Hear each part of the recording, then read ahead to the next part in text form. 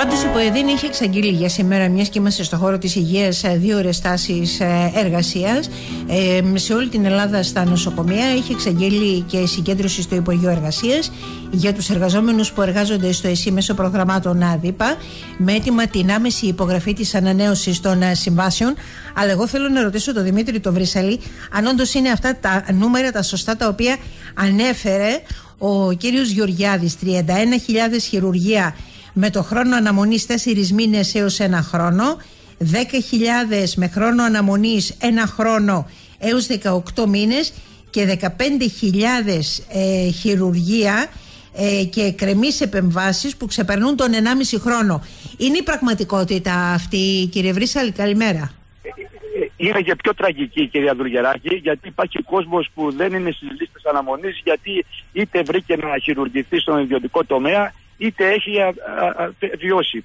Ε, μόνο στο Πανεπιστημιακό Νοσοκομείο Ερακλείου η λίστα αναμονής είναι 3.850 άτομα. Σε όλο το νησί είναι πάνω από 8.000 και την ίδια ώρα ε, όπως βρήκε λεφτά ο κύριος Γεωργιάδης από το Ταμείο Ανάκαψης να κάνει 50.000 δωρεάν χειρουργία, να κόψει το κεφάλι του να βρει άλλα τόσα λεφτά, να δώσει και μισθούς, να προσλάβει προσωπικό και να κάνει δωρεάν όλος ο κόσμος στα χειρουργία του που έχει ανάγκη και είναι αν θέλετε ντροπή να κατηγοριοποιεί όχι μόνο την τσέπη των ασθενών αλλά και την ασθένειά τους και το χρόνο αναμονής. Όποιος περιμένει να χειρουργηθεί είτε έχει μικρό πρόβλημα είτε έχει μεγάλο θέλει να χειρουργηθεί. Εδώ θα μας κάνει να ξεχάσουμε και το τι έχουμε σπουδάσει και το τι, ότι εμείς απευθυνόμαστε σε ανθρώπους και, και σε όχι σε πράγματα. Και βεβαίως κυρία Δουλγεράκη, εδώ τώρα είμαστε σε κινητοποίηση των εργαζομένων του ΟΑΕΔ των συμβασιούχων στην καθαριότητα που με πολύ θράσος ο κύριος Γεωργιάδης είπε ότι δεν τους χρειάζεται αυτούς τους ανθρώπους που την περίοδο του COVID δώσαν τον καλύτερό τους σε αυτό για να έχουμε καθαρά νοσοκομεία για να βάλει μέσα τους εργολάβους. Και όχι μόνο αυτό, τώρα εδώ και δύο εβδομάδες ένα διαδικαστικό θέμα το έκανε κυρίαρχο, έχει φέρει αναστάτωση σε όλη την Ελλάδα και εδώ στο Πανεπιστημιακό Νοσοκομείο έχουμε 15 εργαζόμενους που έχουν λήξει οι συμβάσεις και τώρα δεν, δεν ξέρουν τι θα κάνουν. Αν θα συνεχίσουν να δουλεύουν ή αν θα, αν θα πρέπει να πάρουν τις άδειές τους και να περιμένουν αυτό το ΦΕΚ που εδώ και δύο εβδομάδες έχει χαθεί από Υπουργείο σε Υπουργείο. Ή θα ντρέπεται και η ντροπή με τις επιλογές αυτές που γίνονται τα τελευταία χρόνια στο, ε, στο νοσοκομείο και στο Υπουργείο Υγείας. Είμαστε αποφασισμένοι να κάνουμε παρέμβαση σαν σωματείο να καταγγείλουμε το απαράδεκτο αυτό καθεστώς και στον ΟΑΕΔ το τοπικό, με το να οφείλονται χιλιάδες μέρες ρεπό και άδειες στους εργαζόμενους και θα υπάρχει καταγγελία στην επιθεώρηση εργασίας για τα ε, ε, προγράμματα εργασίας των εργαζομένων που είναι παράνομα, είναι επικίνδυνα και θέτουν σε, σε, σε κίνδυνο τόσο την ασφάλεια των εργαζομένων όσο και των ασθενών όταν έχεις κουρασμένο προσωπικό προσωπικό που το μοιράζει σε 2 και 3 και 4 πόστα όταν δεν τον δίνεις άδεια, όταν τον δίνεις ρεπό. Όλα αυτά είναι εντός της εβδομάδας; Όλα αυτά είναι η έναρξη της εβδομάδας γιατί έχουμε 22 του μηνός πανηγειονομική απεργία ναι, ε, και 28 του μηνός έχουμε την πανελλαδική απεργία που διοργανώνουν οι ομοσπονδίες δημόσιου και ιδιωτικού τομέα. Ε, κυρία Δουλγεράκη, ε, επίσης στη συνέλευση καταλήξαμε ότι εφόσον ξεκινήσουν τα ιδιωτικά χειρουργία στο Πανεπιστημιακό Νοσοκομείο, θα εξαγγείλουμε στάση εργασίας, συγκέντρωση, κινητοποίηση, γιατί είναι απαράδεκτο στον 21ο αιώνα να μετριέται η υγεία του κόσμου με βάση την τσέπη του. Με βάση την τσέπη του, με βάση το πακελάκι, αν το ονομάζει κανένας νόμιμο ή παράνομο. Πότε θα ξεκινήσει, Πότε ξεκινάνε ε, τα, τα απογευματινά. Ναι, τυπικά κυρία Δουλγεράκη λένε μία του Μάρτη. Εδώ το πρωί δεν μπορεί να χειρουργηθεί ο κόσμος, πόσο μάλλον το απόγευμα.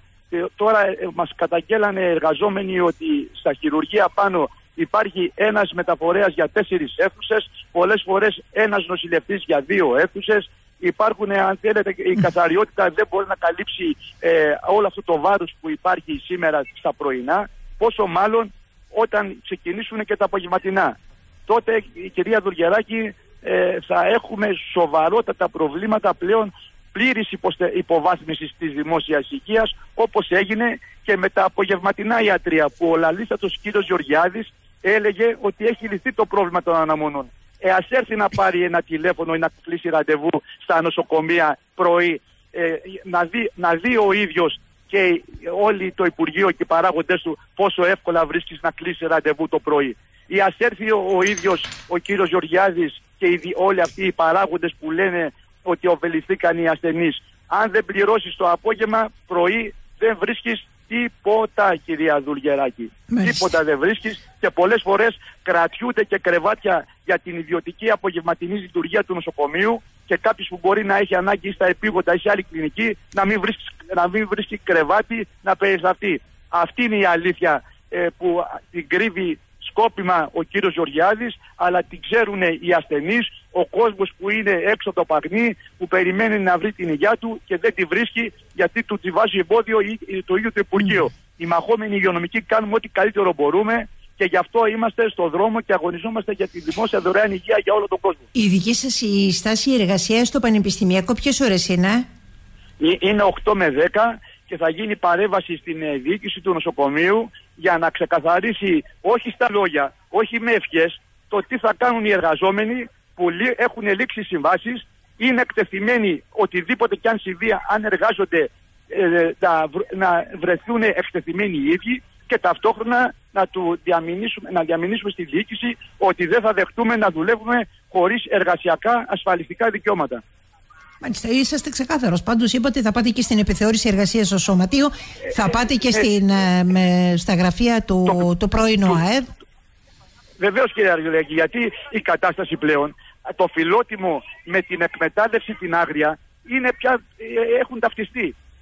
Φιλότιμο, φιλότιμο, αλλά δεν μπορεί όταν ζητάς την άδειά σου να λένε ξέχασέ την ή για να πάρεις την άδειά σου θα μειώσω τη, τη, τη στελέχωση στα τμήματα σε μονάδες για να πάρεις την άδειά σου ή για να πάρεις την άδειά σου θα δουλεύεις χωρίς ρεπό. Πού τα ακούσανε αυτά οι διοικούντες, τα, όλοι αυτοί που σήμερα λένε ότι στηρίζουν τη δημόσια υγεία; Δεκάρα τσακιστή δεν δίνουν. Το μόνο που τους ενδιαφέρει είναι να κάνουν business με τους ιδιωτικούς επιχειρηματικούς ομίλους. Αυτή είναι η αλήθεια και να βάλουν τους ιδιώτες στα νοσοκομεία και να, το, μόνο η ταμπέλα να είναι δημόσια και όλα τα άλλα ιδιωτικά. Μάλιστα. Θέλω ένα σχόλιο, όσο ε, το δυνατόν πιο σύντομα σας παρακαλώ, αναφορικά και με την συνάντηση ως Περιφερειακός ε, Σύμβουλος της Λαϊκής Εισπήρωσης για την συνάντηση του ΙΠΑΤ με τους αγρότες το Σάββατο κύριε Βρυσαλή. Ε, κυρία Δουγεράκη, ε, ο Υπουργός Αγροτικής Ανάπτυξης και συντοπίτη μας έχει στριμωχτεί από τις κινητοποιήσεις όλης της Ελλάδας, από τις κινητοποιήσεις που συμβαίνουν στο νησί μας. Σήμερα ε, και στον δρόμο οι όλοι οι αγρότες όλης της Ελλάδας αποδείξανε ότι η κυβέρνηση, το Υπουργείο όχι μόνο δεν είναι ανίκητο, μπορούν με τους αγώνες τους να εξασφαλίσουν να ζουν στο, στον τόπο τους, στα χωράκια τους και στα βουνά τους. Απέδειξε ότι όχι μόνο δεν έχει να δώσει τίποτα το Υπουργείο Αγροτικής Ανάπτυξης, ουσιαστικά ανα, ε, αναμάσισε αυτά τα λίγα, αυτά αν θέλετε, τα, ε, τα, πάρα πολύ λίγα που δίνει στους αγρότες, όταν την ίδια ώρα υπάρχει αφορολόγητο πετρέλαιο στους οπλιστές και διεκδικούν τα αυτονόητα οι αγρότες ε, να έχουν επιδότηση ε, στο προϊόν τους, να μπορούν να έχουν αφορολόγητο πετρέλαιο, να μπορούν να ζήσουν στον τόπο τους. Καμιά ουσιαστική απάντηση δεν έδωσε ο, ε, ο, ο, ο κύριος Αβγενάκης, ίσα ίσα πολύ κοινικά ευχαρίστησε τη μερίδα εκείνων των αγροτών που αποτελούν το λιβανιστήρι της κυβέρνησης ε, προς το πρόσωπό του που δείξανε εμπιστοσύνη και στην κυβέρνησή του. Ας βγάλει ο καθένας τα συμπεράσματά του. Όλη η Ελλάδα είναι στο δρόμο, εδώ στο Ηράκλειο και στα Χανιά έχουν στηθεί μπλόκα και μια πολύ μικρή, μικρή μερίδα λιβανιστήρια που υπάρχουν και στην τοπική διοίκηση και στην περιφερειακή διοίκηση ήταν το ακροατήριό τους. Σας ευχαριστώ. Καλημέρα. Εγώ καλή σας μέρα. Γεια σας.